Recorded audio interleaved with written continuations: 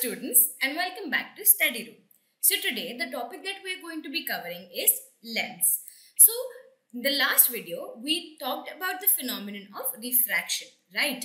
And we learned how light bends towards the normal or away from the normal when it moves from an optically rarer to an optically denser medium or from an optically denser to an optically rarer medium.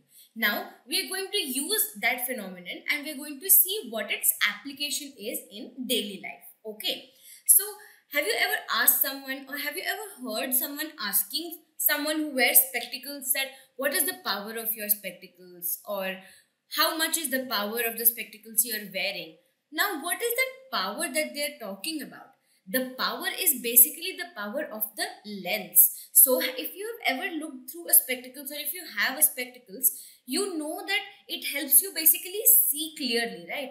Have you ever thought of why that is? What is it between that frame? Do you think it's just normal glass between the frame?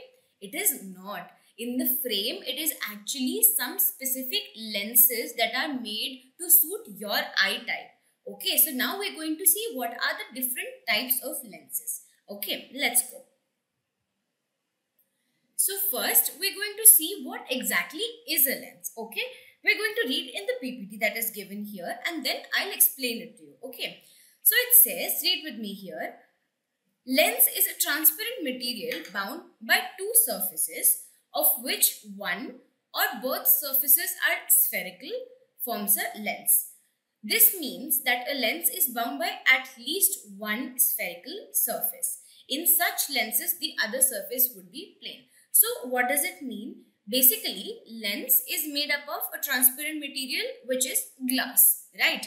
And it has either one or both spherical surfaces. Now, what are spherical surfaces? Because we have studied spherical mirrors, so I'm sure you would know what spherical surfaces are. Spherical surfaces are basically surfaces that aren't plane or surfaces that aren't straight. They're either bent like this inwards or bent like this outwards.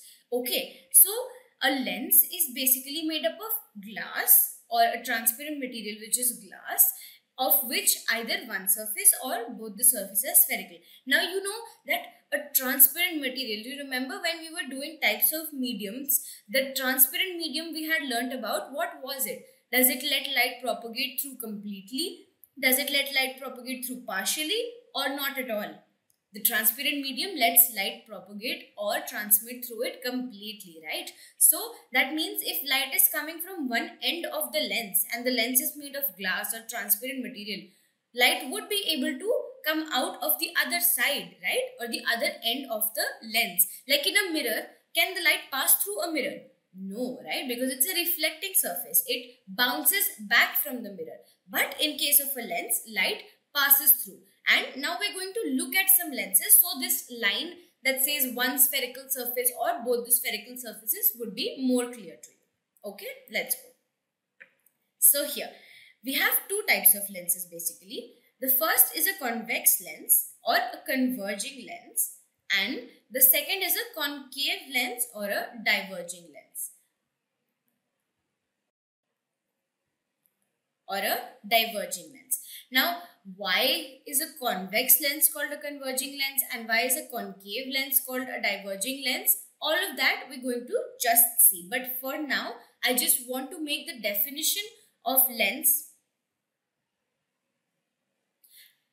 I just want to make the definition of lens clearer to you. Okay. So, we had said that it either it is a transparent material so you can see this is glass. Even if it doesn't look transparent in the picture this is made of glass. So it is completely see-through like in your spectacles okay? And the second thing that it said was either one of the surfaces is spherical or both. So in this case i'm just marking one two three and four. In case one is are both the surfaces spherical or is just one surface spherical? Here, both the surfaces are spherical. Here, are both the surfaces spherical or just one? Both. Very good. Here, one or both? Only one. Right? Because look at this surface. This surface is plane. This surface is not spherical. Right? Spherical means it is like curved like this, like a moon shape, like a crescent moon shape, curving outwards or going inwards, right? So this side is a plane side. So here there is only one spherical surface. In this one again there is only one spherical surface. Okay. Now if we look at the diverging lenses or concave lens,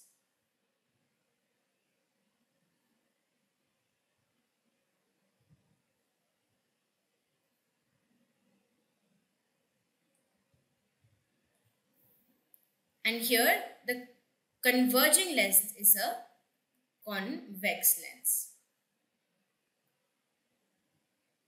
Okay.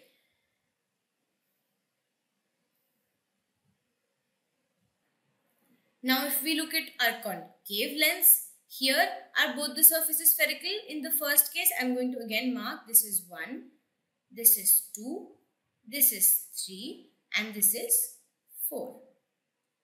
So here, are both the surfaces spherical or is just one surface spherical? Here, both the surfaces are spherical. So we write both. Here, is just one surface spherical or both the surfaces spherical? both the surfaces. Here if you notice they are going somewhat inwards, right? Here both or one. Only one because this side as you can see is plane. Here both or one. Again one because this side is plane. So now I hope the definition of lens is clear to you. So basically a lens is a transparent material bound either by two spherical surfaces or just one spherical surface and when only one of the surfaces is spherical then the other surface is plane. Now how do we name these lenses? Do you see these names written here? It says biconvex lens, convex lens, plano-convex lens and a positive meniscus. So what are these different types of lenses? In this case of a convex and a biconvex, you can see that they look pretty much the same, don't they? But if someone is really good at spot the difference, can they tell me what is actually the small difference between these two, the biconvex and the convex lens? Can you notice something? Okay, so if you have noticed, excellent, good observing skills. But even if you haven't, don't worry. It is a very small difference. So even if you didn't notice, it's not a big deal. So here, look at this. This line can you see this? Can you see where my cursor is? This line that passes through the middle of the convex lens or the, through the middle of any lens is kind of like the principal axis in case of a mirror, okay? But we don't call it the principal axis all the time. We just call it the optical center of the optical central axis of the lens. You can call it that, okay? So this basically in the case of a biconvex lens, divides the lens into two equal halves. Can you see? If I draw this line, I don't know if it's visible to you, and I draw this line. These two small lines that I have drawn, this one and this two. Can you see? These two small lines are equal to each other. That means that that line, the kind of the principal axis or the optical axis divides the biconvex lens into two equal halves, right? Because these two lines are basically the distance of the edge of the lens from the center or from the central axis is equal. But come to a convex lens. Here, this is the line, this is the central line. And now tell me, is this distance equal to this distance? This distance that I have drawn and this distance, compare it. Are they equal? Or is the right side distance a little more than the left hand side distance. It is, right? It's slightly more. You can see now if I erase my, what I have drawn here, now that I have told you, you would be able to see that in the first lens, in the biconvex lens, the central axis actually divides the lens into two equal halves or the distance of each of the lens's edges from the central axis is equal, right? But in the case of a convex lens, that is not the case. Here in a convex lens, what is happening? The distance of the central axis from the edges of the both sides, the both of the surface, the distance of that central axis from both the surfaces, both the spherical surfaces is not the same.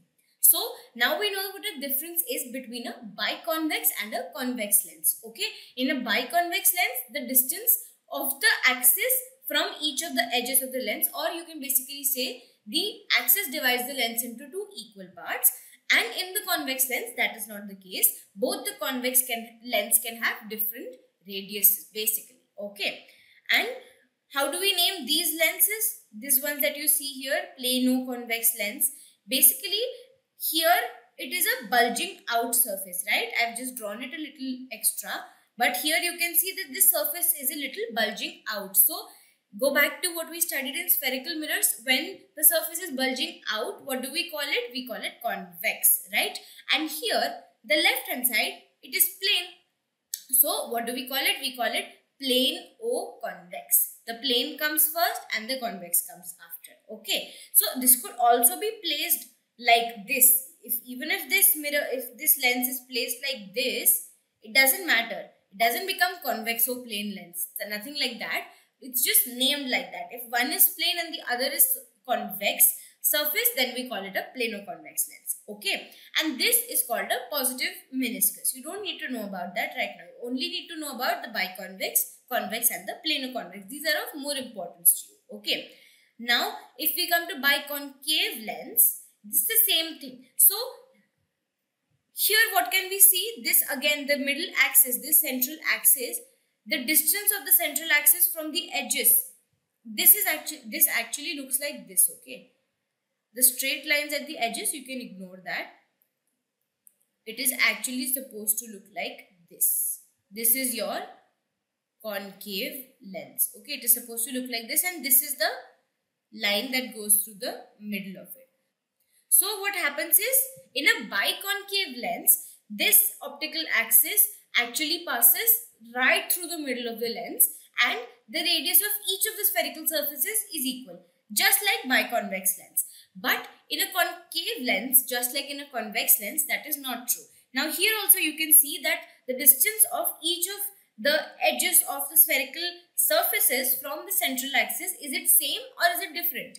No right? One of them is some it's like this right? If this is the central axis then one of them is much closer and the other one is much farther. It's somewhat like this, right? So this distance and this distance isn't equal. So that is a concave lens. And again, like a plano-convex lens, when one side is plane and the other side is a concave surface, it is known as a plano-concave lens. And we just learned what a concave lens is. And negative meniscus is just the opposite of the positive meniscus. Okay, that also you don't need to know. You just need to know what it looks like. It's not actually a part of your syllabus. Okay, now we know what are the different types of lenses. Moving on. We're going to study the converging action of a convex lens. So now we, have, we know that when both the surfaces are convex surfaces, it is known as a convex lens. In your studies, we are using biconvex lens, but by convention, we just call it convex lens in, instead of a biconvex lens. So you don't have to get confused. We just studied that biconvex and convex is different. And in your book, we always say a convex lens, convex lens. But it is a special case of a convex lens where the distance of the optical axis is the same from both the surfaces. Okay, so what we're actually using is a biconvex lens only. But we just call it convex lens. Okay. Now, a lens may have two spherical surfaces bulging outwards. If it is bulging outward, that means it's a convex lens. Such a lens is called a double convex lens. Why double? Because both the surfaces are spherical. If the one of the surfaces was plane, it wouldn't be called a double convex lens. It would be a plano convex lens. Okay. So, it is thicker at the middle as compared to the edges. What does that mean? So, if I look at this figure that I have drawn or I look at this figure that is given to me right here, you can see that this, this part or if you come back to my figure, this part is much wider than these parts at the edges, right? So, it kind of looks like a boat, right? Like it's much thicker at the middle compared to the edges. So it kind of tapers at the end or it kind of narrows at the end and it is thick or wide in the middle, right? Now convex lens converge light rays, hence they are also called converging lens. So you remember that we said that convex lens are also called converging lenses. This is the reason why.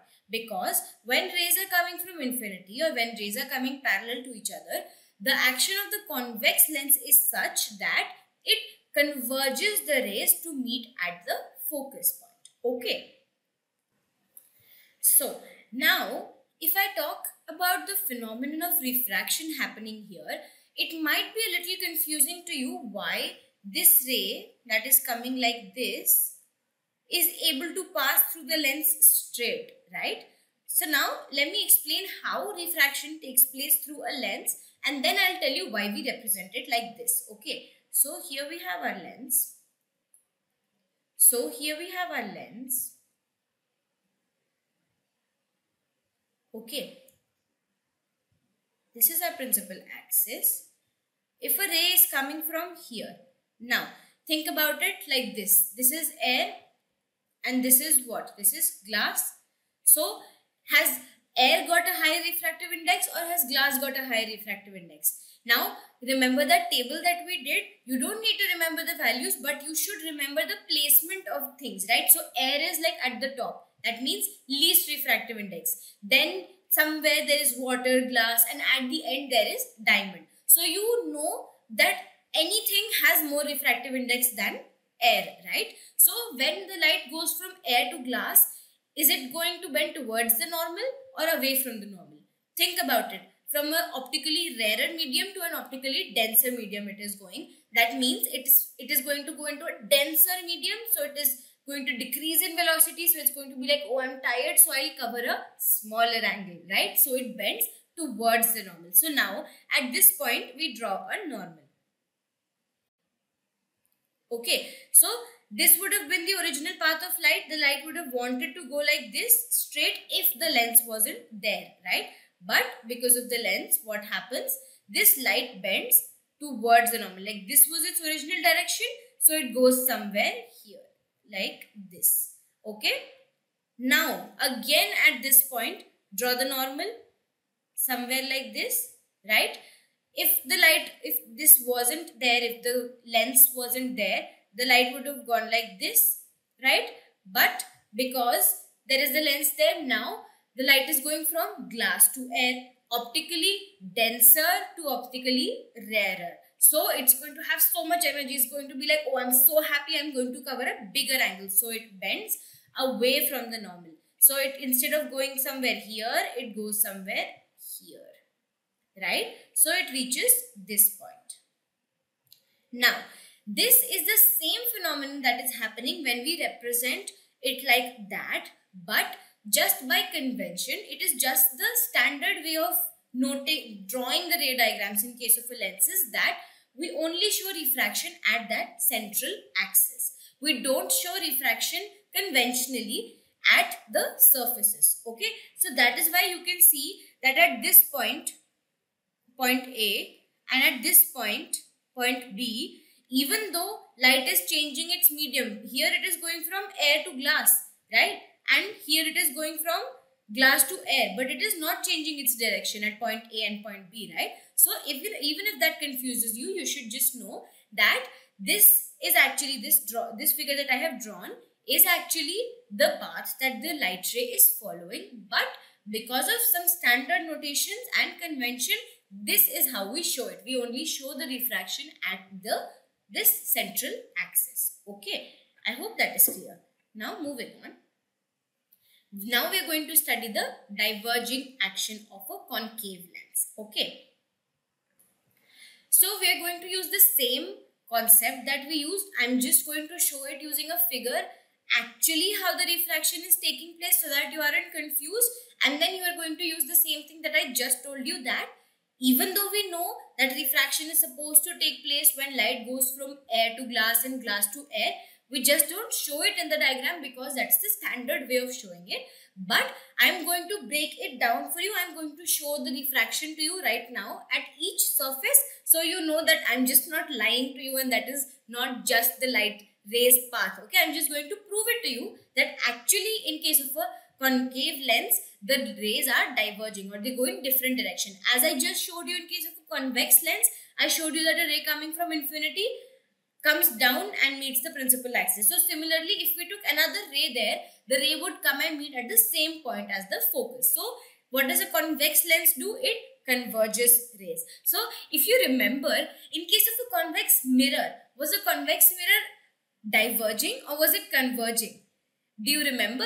When we said, when we defined the principal focus of a convex lens, we said that the point from which the rays coming from infinity appear to diverge. So, what was the convex lens do convex mirror doing in that case? It was diverging the rays.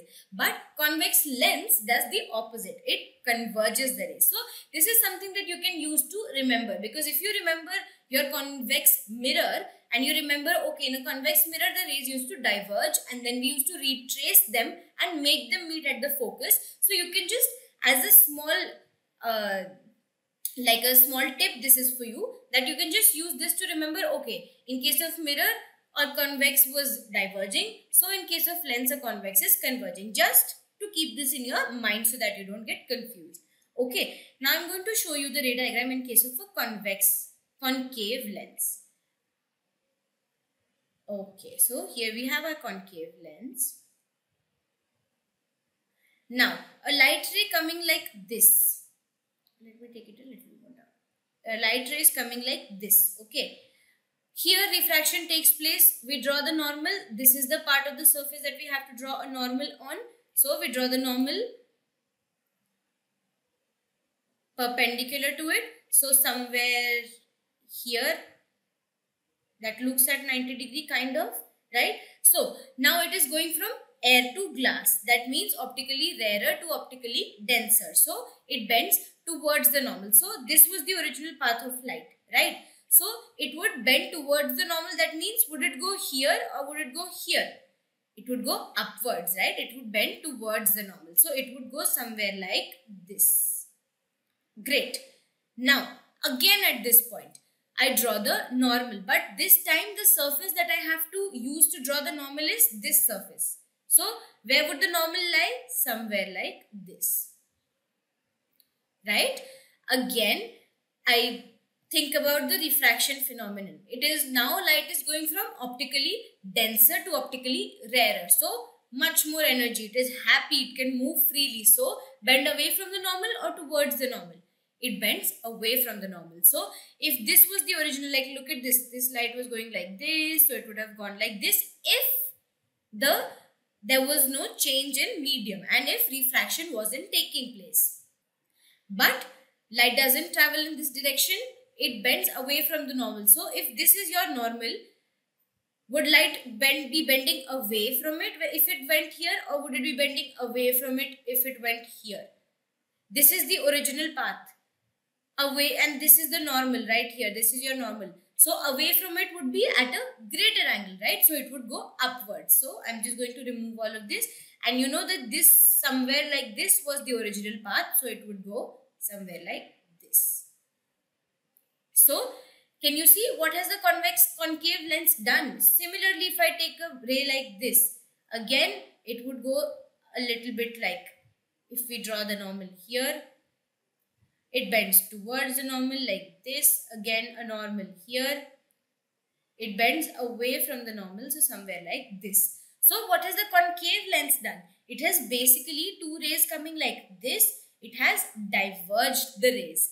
And if you think back to the mirror, what did the concave mirror do? The concave mirror actually converged the light rays. Again, you can use this to remember, oh, the concave mirror used to converge light rays. So, ma'am told us this is just a little trick for us to remember that the concave lens actually does the opposite. It diverges the light rays. Okay. So, Similarly, as I told you in case of a convex lens, even though refraction is taking place like I just showed you in the above figure, we show it from this optical axis. Okay, we show it like this. We show, ki, okay, light goes straight through this lens, although it is not. But by convention, we take it like this and we know this is a converging lens. So, light goes like this.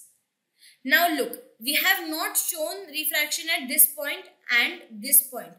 I know that is what I'm telling you. That is the convention. But look at the direction of the light rays. It is still the same. So in your head, you need to know if the concave lens is a diverging lens. So you know a light ray coming like this goes away from the axis and light ray coming like this goes away. So basically diverging light rays and and in your head you know okay we drew the ray diagram. We know that actually at these points one two three at these points these four points for these two rays refraction is taking place. But how do we show it? We only show it at this one point at the center only here at this point this point this point. Okay only this point we show the bending of the light rays. That is the convention that we take in case of in case of lens okay?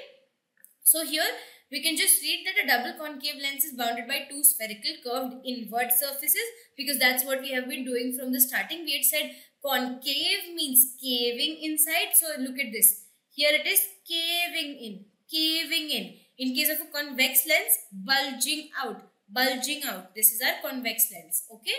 But what is the difference between the concave and convex lens?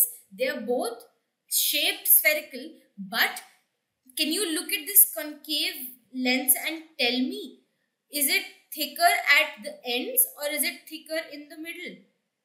Look at this distance and then look at this distance or this distance. It is much thicker at the edges but a convex lens is it thicker at the edges or in the middle it is thicker in the middle, right? So when you draw the diagrams of these two, you would get to know where which lens is thicker. Okay, and we also learned why is it called a diverging lens. Okay, now we move on. Now this is an activity for you. If you can get a concave lens or if you can get a convex lens anywhere, this would be a very interesting activity. Same thing as you did with same thing that you did with the concave mirror. You remember you had held a mirror and a piece of paper and you had tried to focus the image of the sun on the paper and the paper had burnt or just started to smoke. It's the same thing because you remember in the case of mirrors, which mirror is a converging mirror? The concave mirror is a converging mirror. So we can only try to burn a paper if we want to just focus all the light from the sun at one point. So what do we need to do? Do we need to converge or do we need to diverge the light rays to get one small point of all the light rays? We need to obviously converge it. If it's diverging, all the rays are going in different direction. Would you get one small point where all the rays meet? No, right? So that is why you needed a converging mirror in that case and here you need a converging lens. So which lens is a converging lens? A convex lens is a converging lens. So when you try to hold a piece of paper and you try to take the lens closer or like a, you take it far, you bring it close and you try to stop at one point where the sun is just a little dot and you hold it there for some time, you'll see that the paper starts to burn. Why is that? It is the same action that was happening in case of a concave mirror. That the convex lens is basically focusing all the light from the sun at that one small point. Okay. So now let's read. If you hold a convex lens in your hand and direct it towards the sun and you focus the light from the sun on a sheet of paper and you obtain a sharp image of the sun. What happens? The paper begins to smoke. Now, let's see why that happens. This happens because the rays that were coming from the sun are converged by that lens at that small point and it obtains a sharp bright spot and that bright spot you see is actually the real image of the sun okay? And because of the concentration of all the sunlight at this one small point the paper starts to burn. Basically so much heat is being concentrated at that one small point okay? You should all try it. It is a very interesting activity now Next thing that we're going to be studying is the optical center. So, the optical center is nothing but just the midpoint of the lens. Like we learned in the case of a mirror, what is the middle point of a mirror? It's the pole, right? It's the central point in the mirror. Now, in case of a convex lens, if I draw a convex lens, very badly drawn, I'll just draw it again for you. Yes, much better. So if we draw a convex lens like this and like this I said was the axis So here, if this is your principal axis, this point that lies right in the middle of this optical axis is known as O or the optical center. Okay. And in case of a concave lens, where does it lie? Same way. If this is your lens and this is your middle axis, this is your principal axis, then this point, which is basically the middle of the optical axis or the central axis is called the optical center. So, as your PPT says that the central point of a lens is its optical center. Okay. So, now what is the significance of this optical center and how does it come into play? All of that we're going to study when we study the image formation and ray diagrams in the case of lens in the next class. Okay students, so today what did we learn? We learned about the different types of lenses. We learned what are they called. If it's both the surfaces are convex, it's a biconvex lens and we learned that we usually don't say biconvex every time. We, we say a convex lens and the lens that we are using is a biconvex lens only. Okay. Then we learned what is a plano convex lens and a plano concave lens. And then we saw and then we saw that a concave lens acts as a diverging lens actually and a convex lens acts as a converging lens. Okay. And then we also said that even though we know that each of the points at the interface of the two media, you remember what I said interface? Interface is basically the the common boundary between the two mediums. So at the interface where light is entering from air to the lens and leaving the lens to the air, refraction has to take place but we don't actually show it conventionally in the ray diagram we make. We only show refraction where at this central optical axis. Okay, that is something that you have to keep in mind because next class we're going to do the ray diagrams. Okay, come revise with all of your topics and I hope you like this video. Thank you students and take care.